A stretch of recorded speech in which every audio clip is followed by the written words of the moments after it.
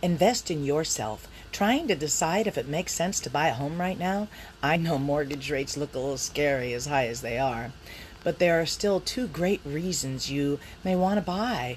Let me show you what I mean. This graph shows home price appreciation over the last 60 years. You might think home prices bounce up and down a lot, but look at the graph. In the long run, home values go up over time. Now look at this graph. It shows the increase in rents over the last 60 years. Rent has gone up steadily too.